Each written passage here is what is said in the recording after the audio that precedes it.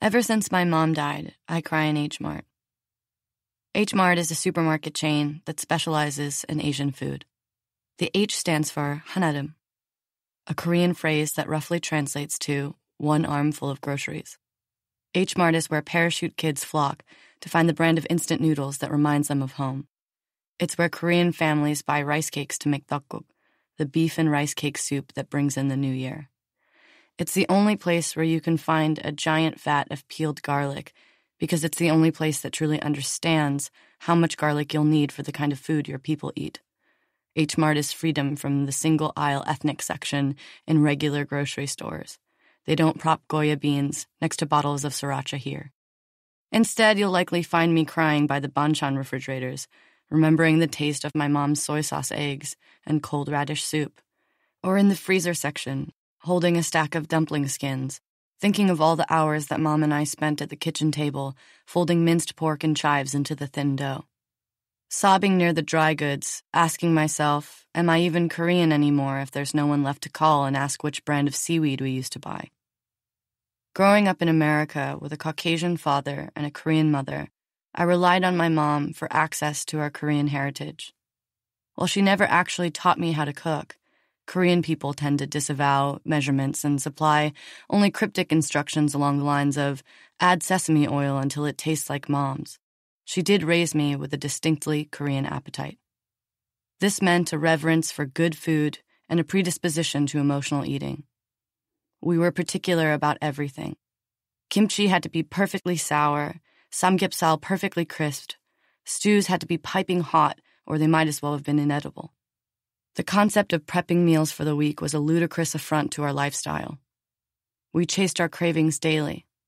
If we wanted the kimchi stew for three weeks straight, we relished it until a new craving emerged. We ate in accordance with the seasons and holidays.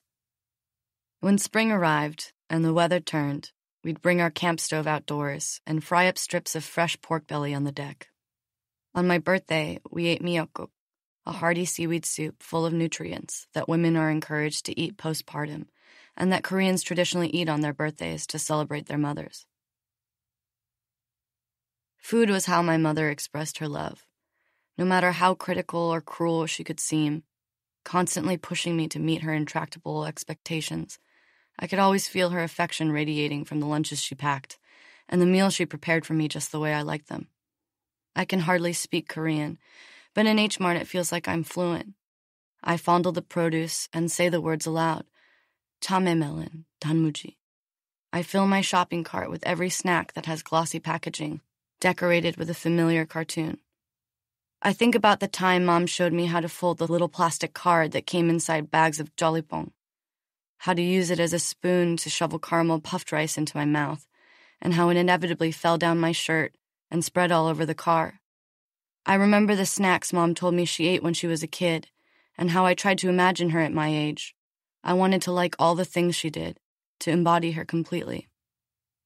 My grief comes in waves and is usually triggered by something arbitrary.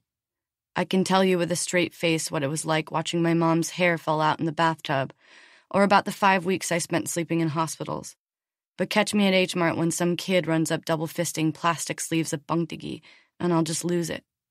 Those little rice cake frisbees were my childhood, a happier time when mom was there, and we'd crunch away on the styrofoam like discs after school, splitting them like packing peanuts that dissolved like sugar on our tongues. I'll cry when I see a Korean grandmother eating seafood noodles in the food court, discarding shrimp heads and mussel shells onto the lid of her daughter's tin rice bowl.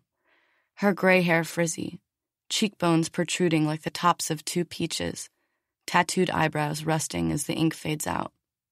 I'll wonder what my mom would have looked like in her 70s, if she'd have wound up with the same perm that every Korean grandma gets, as though it were a part of our race's evolution. I'll imagine our arms linked, her small frame leaning against mine as we take the escalator up to the food court. The two of us in all black, New York style, she'd say, her image of New York still rooted in the era of breakfast at Tiffany's. She would carry the quilted leather Chanel purse that she'd wanted her whole life, instead of the fake ones that she'd bought on the back streets of Itaewon. Her hands and face would be slightly sticky from QVC anti aging creams. She'd wear some strange high top sneaker wedges that I'd disagree with. Michelle, in Korea, every celebrity wears this one. She'd pluck the lint off my coat and pick on me. How my shoulders slumped, how I needed new shoes, how I should really start using that argan oil treatment she'd bought me, but we'd be together. If I'm being honest, there's a lot of anger. I'm angry at this old Korean woman I don't know, that she gets to live and my mother does not, like somehow this stranger's survival is at all related to my loss. That someone my mother's age could still have a mother. Why is she here slurping up spicy jjamppong noodles and my mom isn't? Other people must feel this way. Life is unfair, and sometimes it helps to irrationally blame someone for it. Sometimes my grief feels as though I've been left alone in a room with no doors. Every time I remember that my mother is dead, it feels like I'm colliding with a wall that won't give. There's no escape, just a hard surface that I keep ramming into over and over, a reminder of the immutable reality that I will never see her again.